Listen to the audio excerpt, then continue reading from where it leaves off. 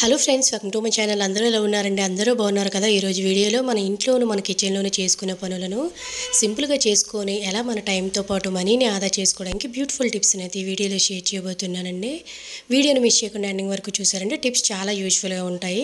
ఇంకా first tip అయితే తెలుసుకుందాము. ప్రతిరోజు కూడా మనం కుక్కర్లో అన్నం కానీ పప్పు కానీ కుక్కర్లో ప్రతిదీ కూడా కుక్ చేస్తూనే ఉంటాం కదండి డైలీ అలాంటప్పుడు మనకి ఏదో ఒక రకంగా సో లీక్ అయిపోతూనే ఉంటుంది ఏది వండినా కూడాను. సో బెల్ట్ కూడా మనకి ఎవ్రీ టూ త్రీ మంత్స్కే పోతూ ఉంటుందండి. ఇలా మన మనీ కూడా వేస్ట్ అయిపోతూ ఉంటుంది. ఇంకా బెల్ట్ వల్లే మనకు ప్రాబ్లం వచ్చిందని సో మనం ఇది మార్చేస్తూ ఉంటామండి. సో ఈ టిప్ తెలిసిన తర్వాత మనం ఏది కుక్కర్లో వండినా కూడా లీక్ అవ్వదు. అలాగే మీరు పాడైపోయి అని పడేసిన బెల్ట్లు కూడా ఒక్కసారి తీసి ఈ విధంగా వాడి చూడండి. మీరు ఇంకా ఎక్స్ట్రానే ఎక్కువ నెలలు వాడుతారు అంత బాగా ఈ టిప్ వర్క్ అవుతుంది అనమాట చాలా మంది ఫ్రిడ్జ్లో పెడుతూ ఉంటారు కొంతమంది వాటర్లో వేసి ఉంచుతూ ఉంటారు. అవసరమైనప్పుడు వాడుకుంటూ ఉంటారు. అలా కాకుండా మనం ఈ విధంగా బెల్ట్ అనేది కుక్కర్కి పెట్టేటప్పుడు ఈ సింపుల్ ట్రిక్ని మీరు యూజ్ చేయండి. అస్సలు మనకి లీక్ అవ్వదు. కుక్కర్ బెల్ట్ కూడా మనకు పోదనమాట ఈ విధంగా వీడియోలో చూపిస్తున్న విధంగా బెల్ట్ని చుట్టూ కూడా మన బొట్టల వేణుతో ఈ విధంగా ప్రెస్ చేసామంటే రివర్స్లో చూసారు కదండి వీడియోలో చూపిస్తున్న విధంగా మనం ఇలా చేస్తే మీకే తెలుస్తుందండి మనకు కుక్కర్ ఈ బెల్ట్ అనేది వదులుగా అవుతుందన్నమాట. సో దానివల్ల మన కుక్కర్ క్యాప్ అనేది టైట్గా పడుతుందండి. అలాగే రెండు మూడు సార్లు ఈ విధంగా కూడా కొంచెం మరి గట్టిగా కాకుండా ఇలా లాగేసిన తర్వాత మనం కుక్కర్లో ఏదైనా వండే ముందర ఈ విధంగా సెట్ చేసి మీరు పెట్టారంటే పాతగా అయిపోయిన పడేసిన బెల్ట్లను కూడా మళ్ళీ మీరు చక్కగా యూజ్ చేసుకునే అవకాశం ఉంటుందండి. ఒక్కసారి మీరు ఇలా యూజ్ చేసి చూడండి. లేదంటే మాటి మాటికి మీకు కుక్కర్లోంచి ఏది వండినా బయటికి లీక్ అయిపోతుంది. బెల్ట్లు మాటి మాటికి పోతున్నాయి అనుకున్నట్లయితే ఒక ఈ చిన్న ట్రిప్ను ఫాలో అయ్యారంటే అస్సలు మనకి కుక్కర్లోంచి ఏది లీక్ అవ్వకుండా కుక్కర్ బెల్ట్ కూడా మాటి మాటికి రిపేర్ రాకుండా ఉంటుందండి. ఒకసారి ఇలా ట్రై చేసి చూడండి. మీ శ్రమతో పాటు మనీని కూడా ఆదా చేసుకుంటారు. సో ఈ టిప్ కూడా మీకు యూజ్ అయిందని అనుకుంటున్నాను. ఇంకా సెకండ్ టిప్ని అయితే తెలుసుకుంటాను ప్రతిరోజు వంట చేసేటప్పుడు కంటే నాన్ వెజ్ వండేటప్పుడు స్టవ్ ఎంత క్లీన్ చేసినా కూడా నాన్ వెజ్ స్మెల్ అనేది మనకి వచ్చేస్తూ చాలా చిరాగ్గా ఉంటాయండి. అలాగే ఈగలు దోమలు లేదంటే బొద్దింకలు కూడా కిచెన్లో తిరిగితే చాలా చిరాగ్గా ఉంటాయి. అలాంటప్పుడు సింపుల్గా ఆ వాసన అనేది మనకు రాకుండా కిచెన్లోనూ కూడాను ఈగలు లాంటివి బొద్దింకలు లాంటివి తిరగకుండా ఉండాలంటే చిన్న టిప్పును ఫాలో అవ్వండి. కొద్దిగా పసుపులను కొంచెం నిమ్మరసాన్ని ఒక్కొక్కసారి మనం వాడిపోయిన కుళ్ళిపోయిన నిమ్మకాయలు అనేవి పడేస్తూ ఉంటాం కదండి. వాటితో కూడా చక్కగా ఇలా క్లీన్ చేసుకోవచ్చు. ఇలా పసుపులు కొంచెం నిమ్మరసం వేసి క్లీన్ చేయడం వల్ల స్టవ్ మీద ఉన్న నాన్ వెజ్ స్మెల్ కానీ జిడ్డు స్మెల్ కానీ లాంటివి ఏ ఉన్నా నీట్గా క్లీన్ అయిపోతాయండి. నిమ్మకాయ అనేది వేసాం కాబట్టి సో మనకు మంచి స్మెల్ అనేది వస్తుంది. యాసిడ్ గుణాలు అనేవి ఉంటాయి కాబట్టి అలాగే ఇలా పసుపు అనేది వేసి క్లీన్ చేయడం వల్ల ఈగలు అనేవి ఒక్కొక్కసారి స్టవ్ మీద గట్ట కిచెన్లో గట్ట ఎగురుతూ ఉంటాయి కదా అవి కూడా ఉండవండి. అలాగే బొద్దింకులు కూడా తిరగవన్నమాట. సో స్టవ్ అనేది చాలా నీట్గా ఉంటుంది. చూసారు కదా వీడియోలో. ఈసారి ఎప్పుడైనా నాన్ వెజ్ స్మెల్ వచ్చేటప్పుడు ఇలా క్లీన్ చేసి చూడండి. కిచెన్ మొత్తం కూడా ఇలా క్లీన్ చేసుకోవచ్చండి. ఓన్లీ స్టవ్వే కాదు. సో ఈ విధంగా క్లీన్ చేసుకోవడం వల్ల మంచి ఫీలింగ్తో పాటు మంచి స్మెల్ కూడా వస్తుంది. అలాగే ఫ్రెండ్స్ ఈ వీడియో కనుక నచ్చినట్లయితే ప్లీజ్ ఒక లైక్ చేయండి. ఇంకా థర్డ్ టిప్ అయితే తెలుసుకుందాము. ఇప్పుడైతే పిల్లలు ఇంట్లోనే హాలిడేస్ ఉంటారు కాబట్టి ఏదో ఒకటి తినడానికి అడుగుతూనే ఉంటారండి. ఇలా బయట ఫుడ్ పెట్టకుండా ఇంట్లోనే హెల్తీగా తయారు చేసుకోవచ్చు పది నిమిషాల్లోనే ఎవరైనా కూడాను. ఒక గిన్నె తీసేసుకొని ఈ విధంగా కొంచెం మిల్క్ని వాటర్ని వేసానండి. చూసారు కదా స్టవ్ వెలిగించుకొని. ఆ తర్వాత ఒక గంట రెండు గంటల ముందు నానబెట్టిన సగ్గు బియ్యాన్ని కూడా ఇందులో వేసానండి. సగ్గు బియ్యం అనేది హెల్త్కి చాలా మంచిది. అలాగే ఇలా గంట ముందు రెండు గంటల ముందు నానబెట్టడం వల్ల చాలా తొందరగా ఉడికిపోతుందండి. గ్యాస్ కూడా మనకు సేవ్ అవుతుంది. చూసారు కదా జస్ట్ కొద్దిగా వేడికే ఉడికిపోయింది.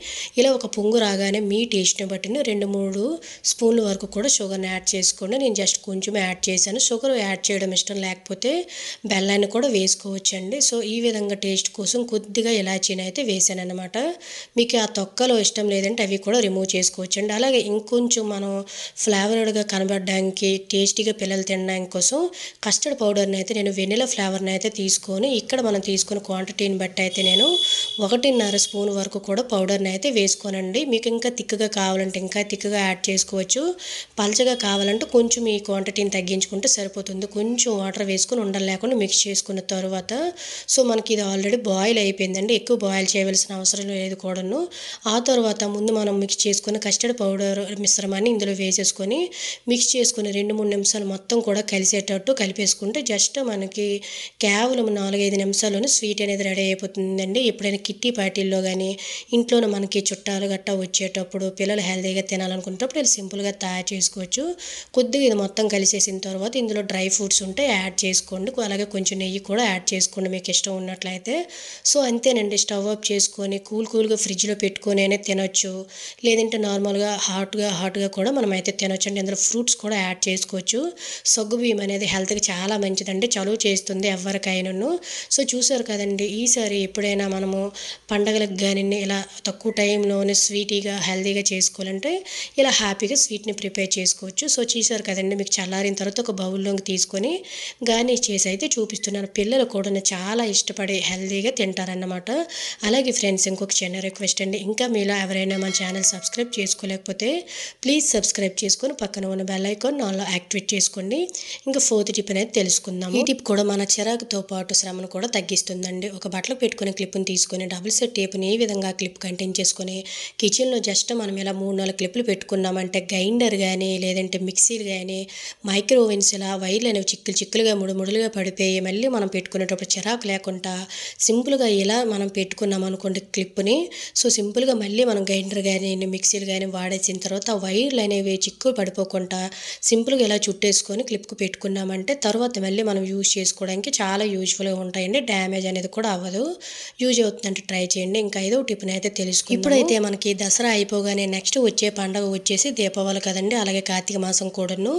ఈ దీపావళి రోజు మనం ఇంటి ముందర దీపాలు అనేవి పెడుతూ ఉంటాము. చాలామంది ప్రతి సంవత్సరం కొత్త కొని పెడుతూ ఉంటారండి. చాలామంది ఏం చేస్తూ ఉంటారంటే ముందు సంవత్సరం వాడినవి శుభ్రంగా వాష్ చేసేసి నెక్స్ట్ ఇయర్ కూడాను అవి వాష్ చేస్తూ ఉంటారు. ఇలా కొత్త వాడిన పాత వాడినా కూడాను మనకేంటంటే ఈ దీపపు కుందులు అనేవి జిడ్డు జిడ్డుగా ఉంటాయండి. పాతవైతే కొత్తవైతే కొత్తవి అయితే మనకు ఆయిల్ అనేవి పీల్చేసి ఆయిల్ కూడాను ఎక్కువగా లీక్ అయిపోతూ ఉంటుందన్నమాట. అలా కొత్తవైన పాతవైనా కూడాను ఆయిల్ అనేది పీల్చుకుంటా ఆయిల్ అనేది కుందుల్లోంచి బయటికి లీక్ అవ్వకుండా అలాగే ఎక్కువసేపు వెలగడం కోసం ఒక మంచి టిఫిన్ అయితే తెలుసుకుందామండి. సో మనం నార్మల్గా ఎలా అయితే క్లీన్ చేస్తామో అలానే ఇలా ఒక బౌల్ తోటి వాటర్ని తీసుకొని అందులో షాంపూని కానీ లేదంటే కొంచెం విమ్ లిక్విడ్ మీరు ఎలా అయితే క్లీన్ చేస్తారో అలానే వేసేసుకోండి. సో కొత్త కుందులు అయినా కూడానండి ఈ టిప్ ఇలానే వర్కౌట్ అవుతుందన్నమాట.